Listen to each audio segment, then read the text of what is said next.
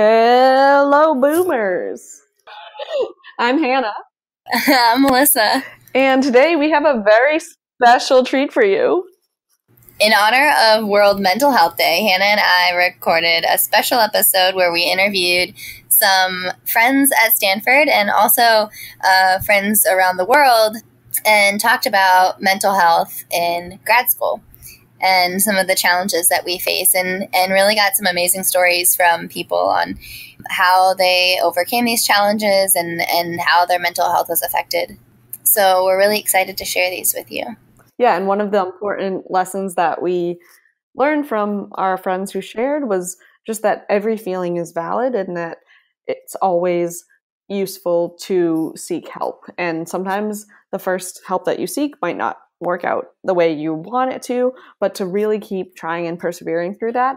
And we're lucky enough that a lot of universities that we're in as graduate students have the resources, and you might have to dig a little bit, but really try to find help, um, even if it's just from a mentor or fellow student. Yeah, yeah, exactly. Sometimes it's as simple as reaching out to a friend or another student, but yeah, we definitely have to be aware of times that uh, we may need to seek help outside of that as well.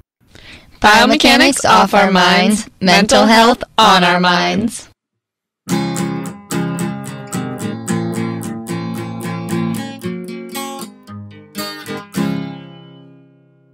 Hey boomers, we are here today with our friend Francis, who is a third year PhD student in the stem cell program here at Stanford. And we're really happy he's come here to tell us today about um, his experience with mental health at, here at Stanford and as a graduate student. Thanks for inviting me. I'm yeah, super thanks jazzed. for being here. Yeah. So, can you tell us about a time um, that you maybe struggled with mental health or it played a big role in your life? Oh my God. I hope this podcast is like four hours long because I, I, have a lot to say. All right. Um, so I guess most recently, my mental health struggle started um, when I arrived at graduate school. So that was probably about two and a half years ago when I arrived at Stanford. Um, I, for a long time, had not really known what I wanted to do with my life and kind of had a vague idea that I was probably going to be like if I was going to be involved in science, then becoming a scientist would be the logical thing to do. So I right. applied to graduate school. Didn't think I'd get into Stanford. The university yeah, was like, "Hello." Same. I was like, "Well, oh, well now I have to go." So I so I got here and I thought to myself, you know, if I'm going to be happy in science in graduate school, what better place than Stanford? You know, it's sunny California. There's great people here, lots of money, or whatever. You know, the I in terms of at least what I viewed was the graduate school game, I like won, whatever that means, right? right. So I got here and I was um, uh, sincerely disappointed knowing that as I went through classes and as I went through rotations and the grad school sort of dance, that I was not happy. I was completely unhappy um, coming to class every day. I was completely ha- unhappy going to lab, even though on the surface, I you know when people when mom and dad would call when friends would call, "Hey, how's the graduate school going?" You're like, "Oh my gosh, I'm so inspired every moment, and like, you know, my best right. self is here all the time." Um, and that is, I mean, there's, I don't have anything against Stanford. There, I found many aspects of graduate school good, but and wonderful even. But overall, I was really, really unhappy because I felt like I was stuck. That I had made this decision, I had locked myself in to a particular path that my life was going down, and I didn't want it to go down that path. Uh, but because I had spent so long preparing and studying and working hard. Um, I felt like it was ridiculous for me to either turn back or see what else is out there because I just I've just been in it for so long. I don't want to waste time. Right. So I just got to keep pushing on. So I, I I told myself, okay, you know, maybe when I finish classes, things will get better, or maybe when I find my lab, things will get better. Um, and every time I increased that milestone forward, it didn't get better, and uh, that was really really hard. And probably, and, and about two years after I arrived here at Stanford, I really thought that life was no longer worth living. So I got to the point. This was now, I guess, April of this year, um, mm-hmm. where things were getting really, really bad. I started canceling all my social engagements. I just was not seeing people yeah. anymore. I was I felt like I was coming to work with almost no energy and as we all know, science sucks the life out of you. So I would get all my energy, you know, sucked out of me, and I would come home drained. And that Yeah. process would rinse and repeat every every, every single day. And one day, um, I did not go to lab. I didn't go to class because I knew, or I, I, I did know that I was going to end my life that day. That that was the day. Everything it was it was not worth it anymore. I had made plans. I knew exactly how I was going to do it, and thankfully, my wonderful partner Alexa intervened. She talked and asked, you know, do you think it'd be good to talk to somebody? So she called the uh, the crisis hotline so Mhm. at Stanford at Student Health. We, there's a 24 hour hotline staffed by psycholo- uh, psychologists and therapists. Uh, we called the hotline. I talked to the lady on the phone, um, and she said, you know, I think it's really best if we get you to the hospital. Yeah. So uh, Alexa took me to the emergency room. I was um, assessed there and was brought to the psychiatry ward at Stanford. Unit G2P represent uh, is, is, is the uh, uh, is the open ward, um, and I spent six days in a psychiatry ward. Um, I spent six days in the hospital, um, and that was probably the the lowest point of my entire life. It was really difficult knowing that because uh, you know as a graduate student i worked next to the hospital the, the idea that i was Yeah. here getting my phd at the school of medicine and now i'm in the, the hospital as a patient in a place that was i never thought i would end up with you know i think no, you know pe- most people who end up in the psychiatry ward i think don't hope or predict that they will at some point Yeah. you know um, so yeah so i spent six six days in the psychiatry ward where all, all sorts of things happened um, not to make the podcast last too long but i during during during that time, um, I was assigned to a psychiatrist. I had a social worker. I had a, a therapist. I had uh, all sorts of people. I lost track of how many people. They literally had Yeah. to write my providers on a whiteboard in front of my bed because I was like, I couldn't remember all of them. It was crazy. Yeah. Um, uh, they started me on medication. I had never been on medication before, so that was also a new experience. Um, Right.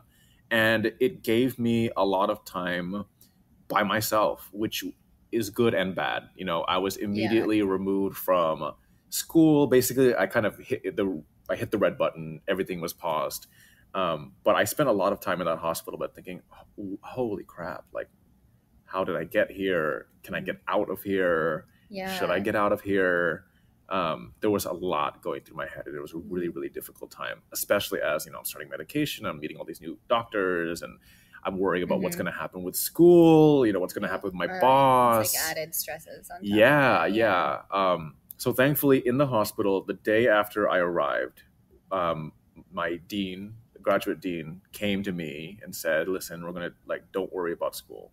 My job here is to make sure school is taken care of. You need to Mhm. focus on recovery right now because my stresses were like, I need to email my professors, I need to email my TA, like, oh my gosh, like I'm gonna be late on my assignment because you know I'm Yeah. cr- clinically depressed. Yeah. you know, like I don't know what to say Yeah. um, but like my immediate reaction was I need to because I'm a graduate student like I would need to like take care of all the crap that I'm Right, leaving because I can't just yeah. let my experiments go on like I've got cells to feed I've got you know papers to write yeah, you don't have time to, you I don't know. have time to be sad. I don't have time to be sad. Like, you know, there's no time to be sad. So I was like, oh my gosh, like I have all these things to worry about. And they were like, don't worry about it. You need to Mhm. focus on you, which is like, the, it was very important. Mm. Um, so I basically spent six six days in in the hospital, which was a time where basically they wanted to make sure that the crisis had passed, that I wasn't acutely wanting to end my life. We could approach things in a more, I won't say sensible, but um, less high octane environment. Right. Yeah. Um, so after I left the hospital, I started three months of therapy,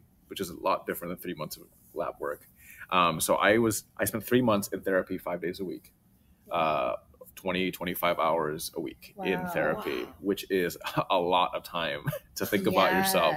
I told Was my it individual therapy or group therapy? that's a, yeah. So the program that I was in was basically designed to be a stepping stone out of the hospital because Yeah. it, it is quite jarring to sort of be in the hospital, having all your mental health needs addressed, and then all of a sudden being thrust out into lab work again or Yeah, real life, and like, yeah, oh my god, you know, whiplash. So it was sort of a step down. So it was a combination of a lot of things. I had an individual therapist. I had a Mhm. psychiatrist to manage Mhm. my medication, and the rest of the day was group therapy.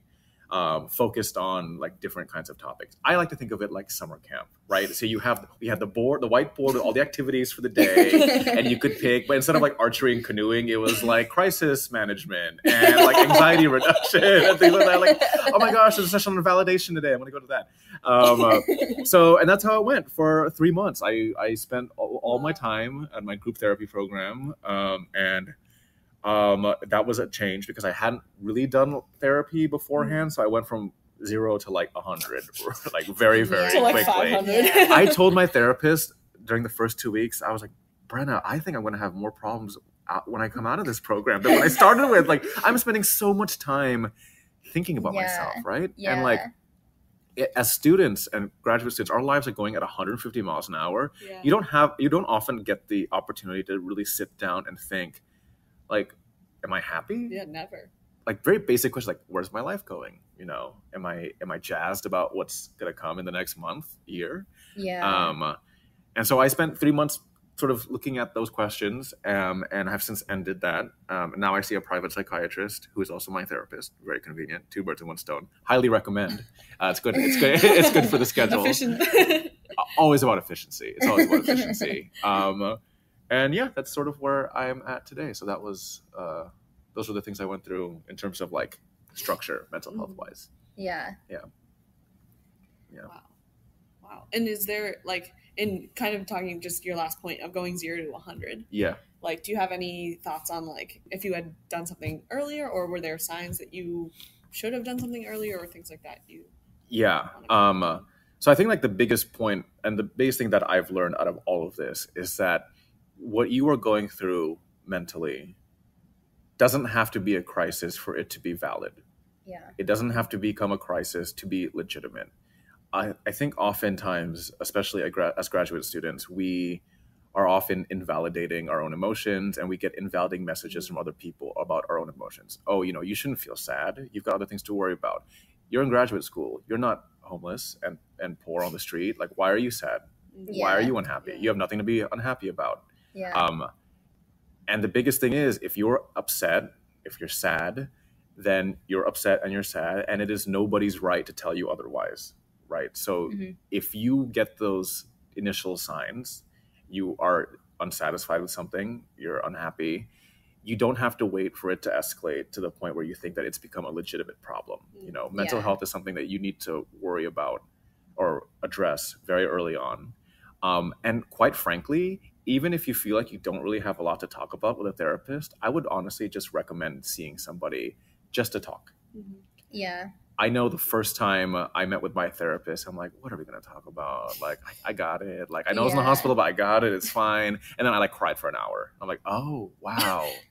Okay, I'm going to come back with to you next yeah.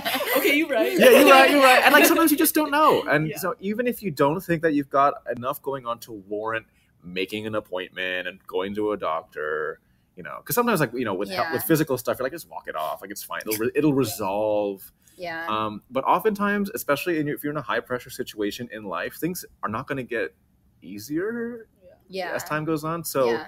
even if you just see somebody and just Yeah. talk, even if you don't have an agenda, just go and talk to Yeah. somebody. So where do you feel like it's going to go from here? I think when you're saying, you know, take the time to ask yourself, are you happy? Like I actually I ask myself those questions a Mm, lot. Like mhm. sometimes I think almost too frequently and I don't always like the answer to it. And Right. and sometimes I'm like, well, am I just upset because, you know, this project isn't going well? Yeah. Am I going upset because I'm not happy where I am? Yeah. Or like should I be doing something completely different? And Yeah. I feel like a lot of times it's hard to differentiate those types of feelings. And I was just wondering, yeah, the kind of effect that this experience has had on you and, and looking forward, what changes hmm you see it Yeah. having in your life. Yeah, um, a lot of changes, and I think that's part of the reason why I didn't want to address the problem is because I was afraid what the answer would be. You know, if I have this sort of overarching sense that I'm not happy, doesn't mean I shouldn't be here. But I spent all this time wanting to be here. You know, like that doesn't that wouldn't be right to me. Yeah. Um, the most salient and difficult lesson that I learned over the course of a whole bunch of therapy, shout out to Cardinal Care Health and Insurance, is that it, a common thing we used to say in group therapy is that you need to put on your own oxygen mask before helping others. And what Yeah. that means is that it's not selfish to want to take care of yourself because if you do not take care of yourself, you will not be in a position to help others, right? And yeah. so for me, putting my own needs first, putting my own emotions into the forefront, I felt selfish. Like I shouldn't be worrying about this sort of thing. I shouldn't worry about, you know, there's so many other problems. Humanity needs my science. You know, who am I to be upset? Like there's so many people, which is like I think a lot of people yeah. think like, yeah, you know, think definitely. that way, right? Yeah. Um, so after I was in therapy and after I was in the hospital, I said, you know, gosh, I, maybe some things are not going where I want them to be going in yeah. my life. And I and I took a hard look at where things are going and I made some difficult decisions. And I I went to my advisor, and I will come out and say that this is very much a very privileged conversation I've had. Like, not many people are open to go to their advisor and just talk it out. I went mm-hmm. to the mm-hmm. director of my program and I said, um, I this is where I think my life is going, and I want it not to go there. If I can't fix all these things that I've been going through, I have to leave. Yeah. I was I I have to leave. I cannot be here anymore. Um, I sort of swallowed the idea that maybe this isn't right for me. And, you know, it doesn't have to be. It doesn't have to be right for you. You know, there is no metric of success that you have to achieve before you can go on and do what you actually want. Yeah. In my opinion, you know, you have done, and I'm sure everyone listening has done so much in their lives to be proud of.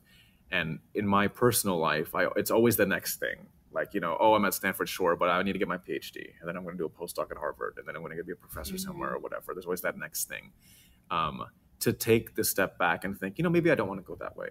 It's really mm-hmm. difficult. Yeah. it's really difficult. Yeah. It's difficult to tell people who have looked at you for your whole life as the person who's going to do X, Y, and Z. Yep. You know, I always got Francis is going to cure cancer and do this and do that, and to like tell people for once, like you know, maybe that's not what I want to do with my yeah. life, yeah. is really difficult. Um, so now I look at mo. I, I can't say all. Mo, I say most of the decisions that I'm making on a day to day basis, and what I think to myself first is, what do I want to do? Yeah. Which is such an easy thing that we always overlook. What do I actually want to do? Not what your program wants you to do, not what your PI wants you to do. What do you actually want to do? Mm-hmm. So I told my advisor that. And thankfully, we have sort of retooled what I'll be looking at in graduate school to better align with what I actually want to do with my life. Mm-hmm. And what my current advisor told me when I met with him and was being very real with him is that you need to have a dream in graduate school. You know, you need to there is has to be some goal, some yeah. lighthouse, some candle yeah. in the distance that you are working towards because otherwise you get lost and that's where I was. I didn't have that dream. I didn't have that oh, it's going to be worth it when I get to this. I didn't know what that was. And because of that I felt like I was working so hard for seemingly nothing. And I didn't know where I was going. Yeah. Um, I forget the original question, but now I look no. at life as like what putting your needs first and what do I actually want to do we really appreciate you sharing your story with us. My pleasure. And yeah, that was, yeah. I'm inspired. Oh, thanks. I hope I can be too. So eventually, yeah. thanks for inviting me on. It was a blast.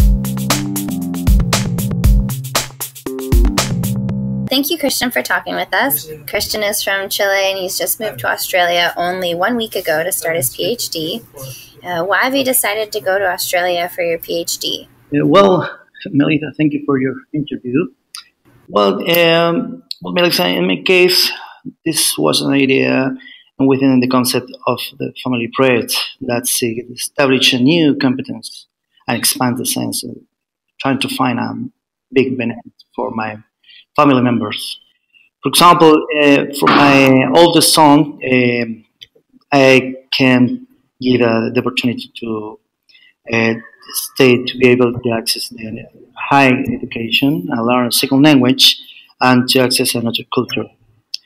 And for example, for my wife, is to a bigger opportunity uh, because uh, she is, for she's very hard try to find English in our country. That's why I will choose uh, studying in Australia. In addition, for example, it's very interesting. Uh, try to share, interchange some different culture. That's why I choose studying PhD in Australia. What has it been like to go through this having a family? Uh, well, uh, for us, hard, it was hard because since you must apply, for example, for the visas or for to try to buy the insurance hills and try to enroll your son to the high school are some challenges you try to must confront. Does your son know English? Uh, yeah, yeah. I think it, the the English language for us is very complex because in our country um, only do speak Spanish, and you try to find some the second language in English. Uh, it's very hard to try to learn. What are some challenges that you face teaching and going to school in Chile that students in other places might not face? Yeah, well, the central problem of the education in Chile is related with the not preparing to know English as a second language which imply that you must invest money and time to solve the problem, which this time uh, in order to be challenged. That is the main problem in our country. Uh, when you want to take a program, PhD program in another country where the mainly language is English, you uh, will be confronted two problems, the big problem, the language, and after that try to involve a, a different culture. That's why uh, I recently tried to start a PhD program here in Australia. English here is different if you compare it with American English. And another try to understand the different culture. I, I think for my family, my wife, for example, to and my sons, I think it, for them will be very, very challenging. That's, uh, that's my point of view in this question. Yeah, thank you for the insight. Um, what do you think has helped you overcome some of these challenges, and what would you recommend to a student in a similar position? Well, uh, first, I think um, if you want to study in another country, you must try to obtain the full information yourself of the steps necessary to achieve the symptoms of the university where you wish to study. That is the first one to reach out to the university that you want to study at? That's right. Yeah. Yeah. Uh, right now, I'm uh, studying in UQ. Um, my personal experience was very hard try to obtain all the requirements. I think uh, another uh, very important uh, situation to try to control is the financial support. That's why try to study a PhD in the country is very expensive. In my case, I obtained a scholarship from government uh, that helped me try to support the financial or the spend here in Australia. Another fun- uh, fundamental thing is to be systematic, orderly, and obtain some money to start to paperwork before traveling to country where we. I think that is the main important point to take to control when you want to study in another country or PhD. Well, in conclusion, um, for us is a very big challenge that is linked to a family project.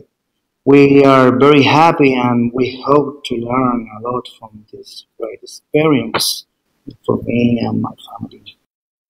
I think that maybe the main topic to talk, to talk uh, right now is focusing on the stress you have when you arrive at an English country. It's an interesting point. Yeah, those are definitely challenges that, that we need to think about more on a on a global scale.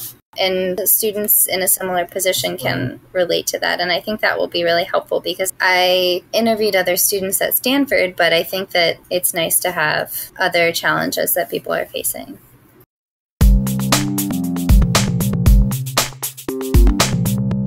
We're here having coffee and donuts with our friend Jenny, who is a PhD student at Stanford. She actually just defended. So, Woo! congratulations, Jenny. Thank you. And now she's on the job hunt and working on finishing up her PhD. And so, we thought you'd be an awesome person to ask about like reflecting back on your time um, throughout your PhD. Was there a time that you felt your mental health was really diminished? Well, thank you for having me. I'm very excited to be on Boom. this is like life goal accomplished. um, and yes, I think there are lots of times during the PhD when I struggled Um, maybe not specifically with mental health per se, but just the struggle of, you know, do I belong here? The whole imposter syndrome thing, and, you know, whether or not I was going to finish. It never felt like a guarantee. Yeah. Um, I think the first big struggle I faced was having a project that didn't go the way I wanted it to or the way I expected it to.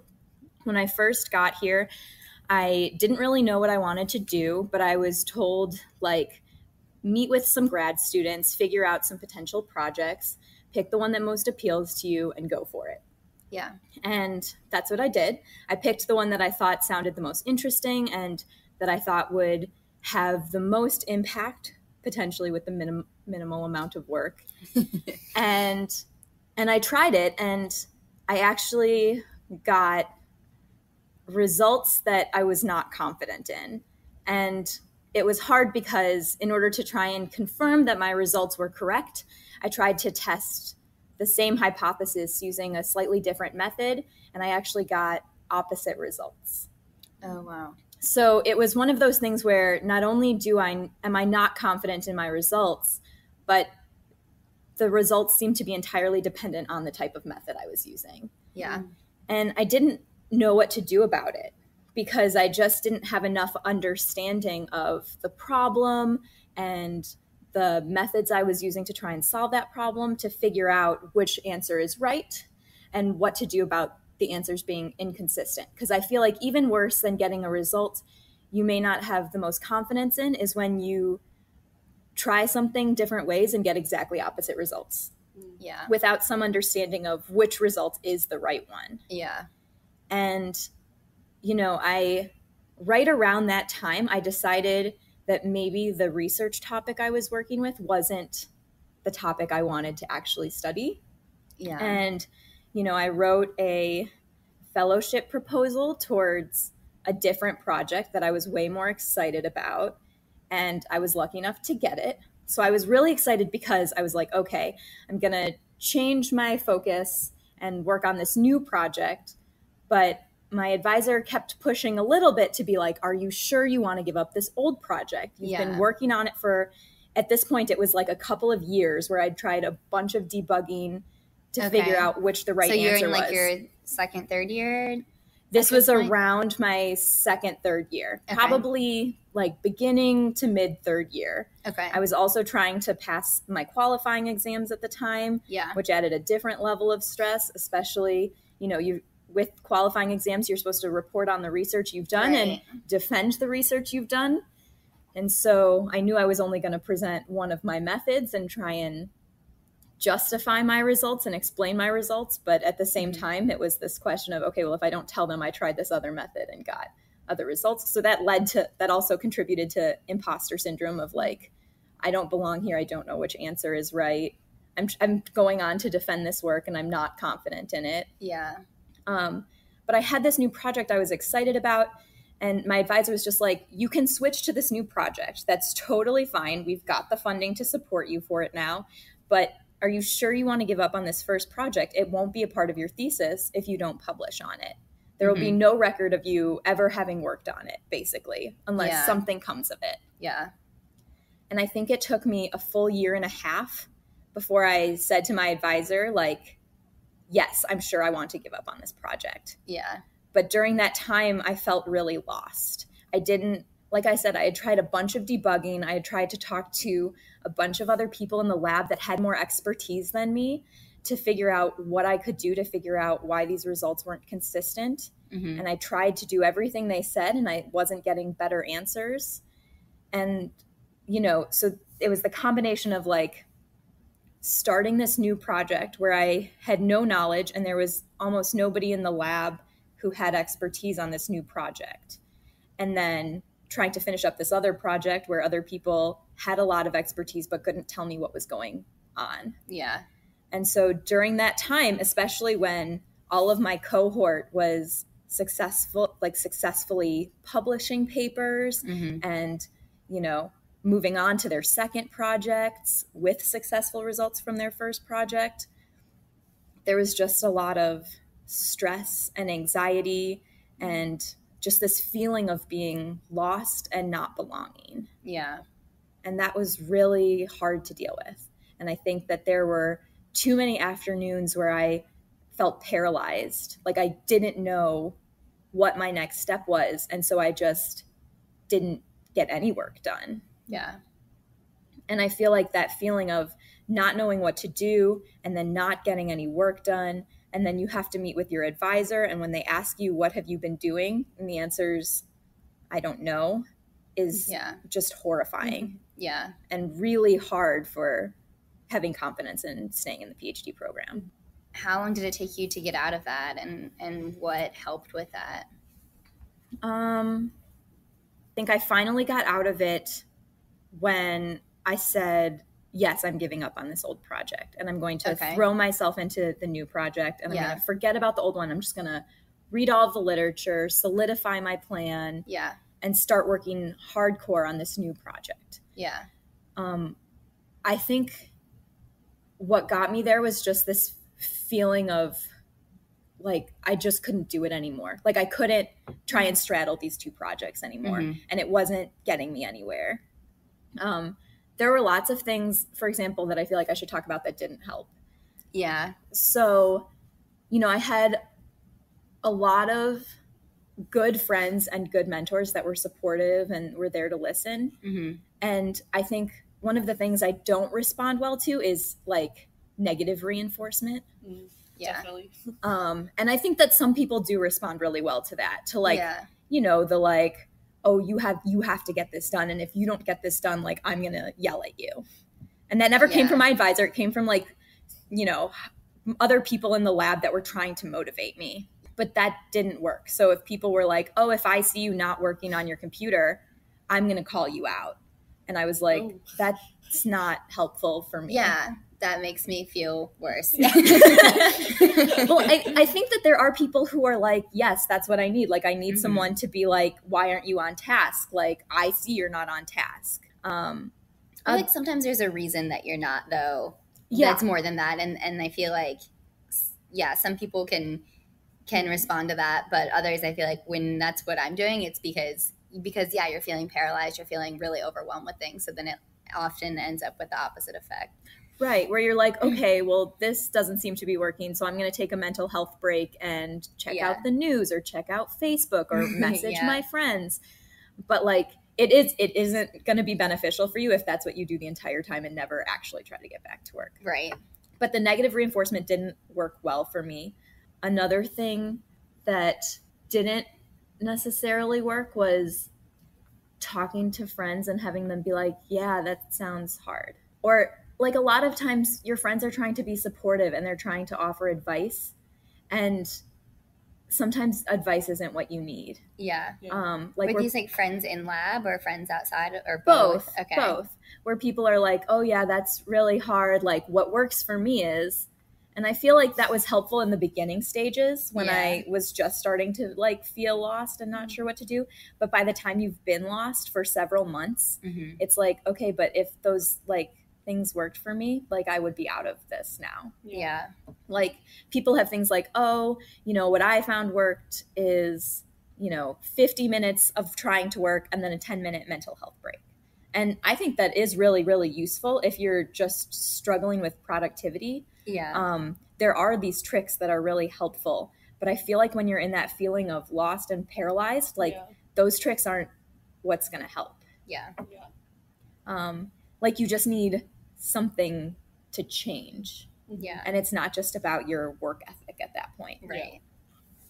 um, things that I think did help were my friends just listening to me, hmm like just um, being like, "So how was your day today?" Like, are there things I can do to help? Like just offering to help, and it's not like you can even take them up on the offer when Yeah. the problem is I'm not being productive. Mhm. But that was always helpful to have friends be like, "Well, tell me what's stressing you out. Let's talk about what's stressing you out." Like, Yeah.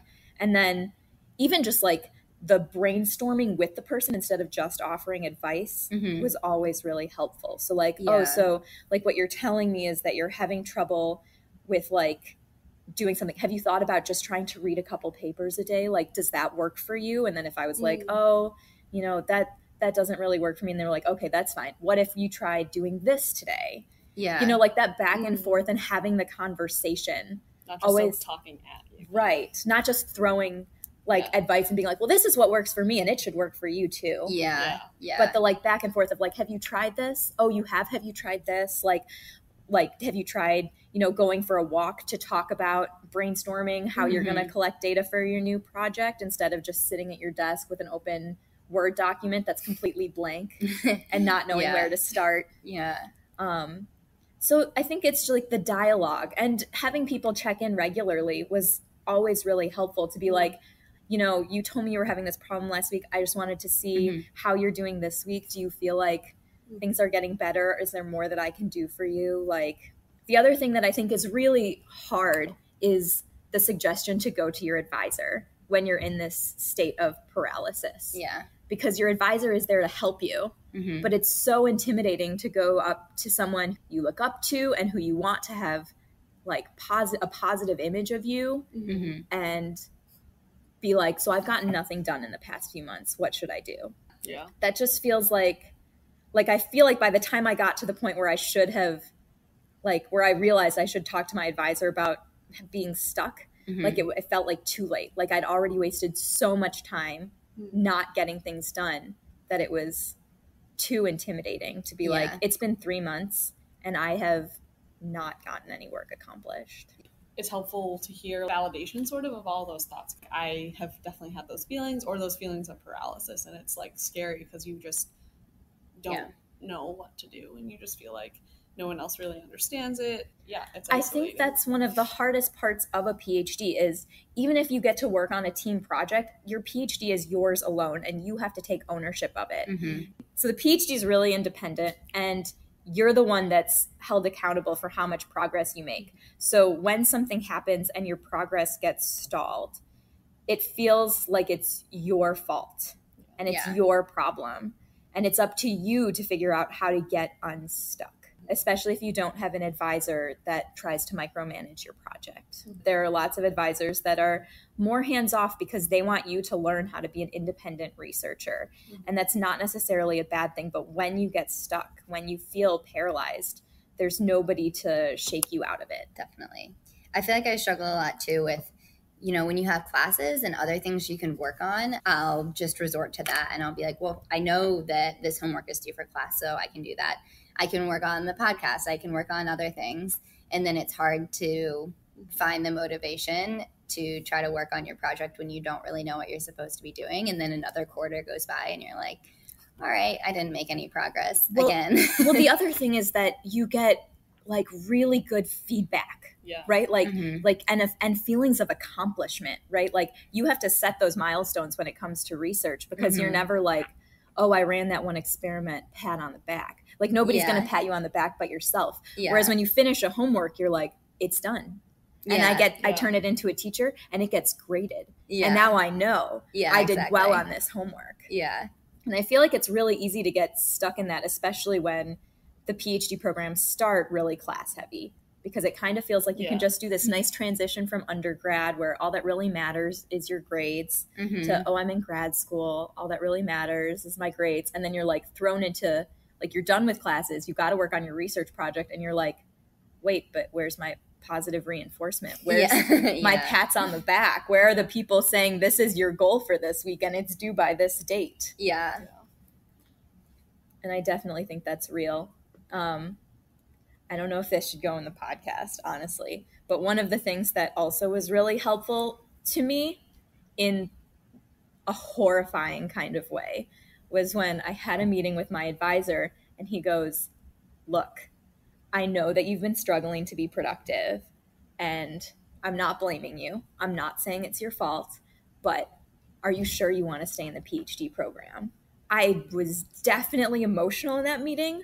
I definitely cried in that meeting. It definitely felt like failure. Yeah.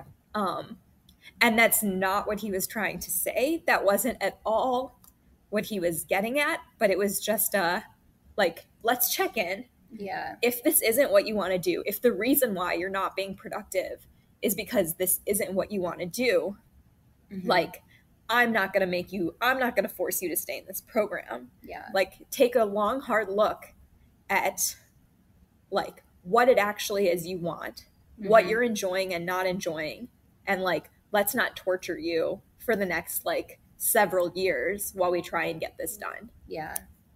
And I think it really forced me to take a long, hard look. And honestly, I couldn't tell you if like I think like I I did take that long hard look. I did still think I wanted to get my PhD, but I I honestly like now that I'm near the finish and getting to the end, I can't tell you for sure if like part of what motivated me was the challenge of are you sure you want your PhD? Like are you sure this is what you want? And me being like challenge accepted. or if it was like yes, I do need the PhD to accomplish my goals. yeah. I think that it it just kind of like scared me into this like, you know, I really can spend years and years and years being unproductive and still being in a PhD program. Like my advisor asked me mm-hmm. this while I still had funding. He had nothing on the line to ask me aside from like trying to check in with my mental health. Yeah. And I'm just so glad he did. And it was like I said, at the time, it was horrifying. It was really startling to be like, oh, look, my advisor does realize I'm struggling. Like, he Mhm. does recognize that. It's not like I thought I was shielding him from it, but clearly I wasn't doing a good enough job. But I think that. I, you know, we had that conversation, and I think it was around the same time that I was like, you know what, I think what would really make me happy and help me to be successful is if I drop this other project Yeah. like i'm ready to drop this other project i'm ready to be productive and go all in on this new project that i'm m- way more excited about and that i think will have solid outcomes that i'll understand right. i think it is really useful to have a good advisor who even if he's hands off is really in tune with what's going on with his Yeah. students Yeah. Absolutely.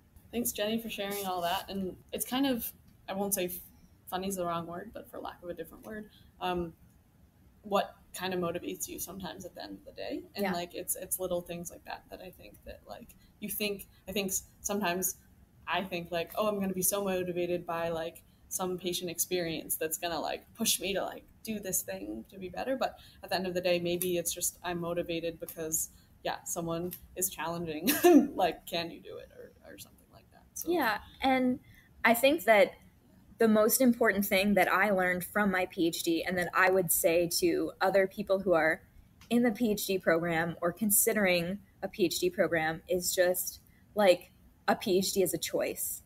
And at any time, you're totally free to walk away and do something else. And keep that in mind while you're struggling. And I'm not saying that as soon as it gets hard, walk away but really remember why you're in it and use that to help drive you and motivate you. That's really great advice. Thank you, Jenny. My Thanks, pleasure.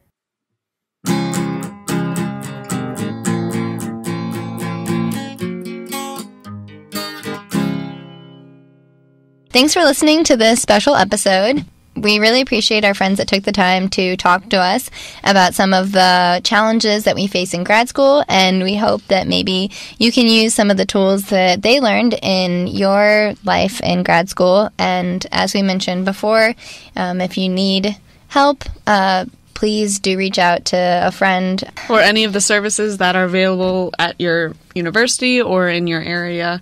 They exist. There's even a, a hotline called Crisis Text Line that you can text just with anything if you just need to talk, and there are volunteers working 24 7 there. Biomechanics on Our Minds is brought to you by the International Society of Biomechanics. And special thank you to Peter Washington for all the music that he does for all of our episodes. um, we didn't have all of the music that we usually have in this one, but we always appreciate all the fun tracks that he has provided for us. Tune in next time for more biomechanics. And until then, we'll keep mental health on our minds and hope that you'll do the same. Boom!